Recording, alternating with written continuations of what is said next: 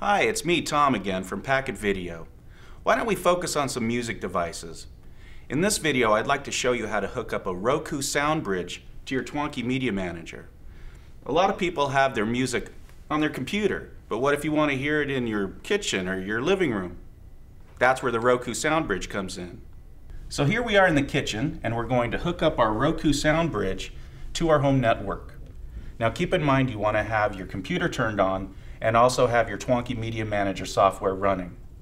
Now, when you first hook up your SoundBridge, you'll plug it into this power cord that comes with it, of course, and then you're going to connect it to a set of speakers. Once it powers up, you'll get a set of basic questions that you can answer, basically setting up English, which language you speak, which country you are in, and which time zone. And then once we accept those changes, it'll start up.